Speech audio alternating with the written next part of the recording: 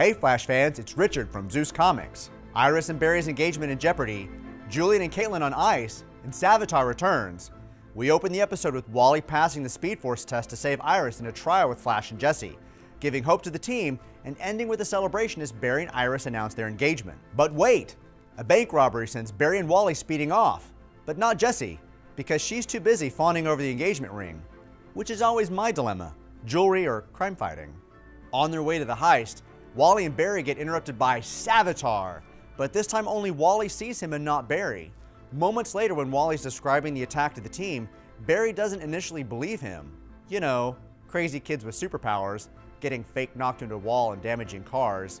Come on, Barry. With the potential reemergence of Savitar in Central City, Julian channels Savitar one more time who drops clues about his identity, name dropping both Zoom and Reverse Flash, eliminating them from the suspect list while telling us they were all responsible for him becoming Savitar, but it was Savitar who created himself.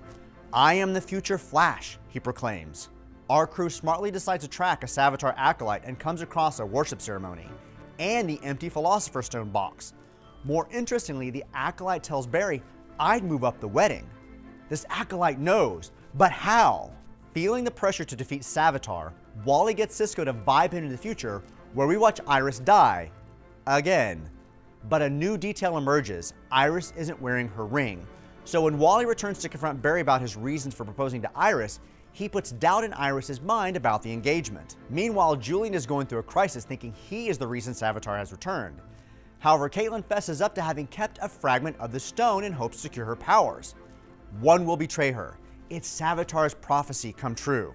Wally's visions then turn dark, with Savitar disguised as mom taunting Wally that he isn't fast enough to save Iris.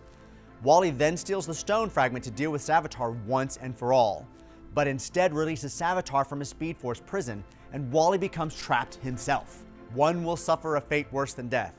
This is the final prophecy revealed, right? I'm not too certain. I'm not convinced the one will die still pertains to Iris. What are your guesses? Our episode concludes with Savitar free, Wally trapped in the Speed Force, Barry wounded, and Iris without her ring. Next on Flash, Barry suffers his own visions and demons as Barry turns to the Speed Force for answers. Get ready for returning characters in an all new Flash into the Speed Force.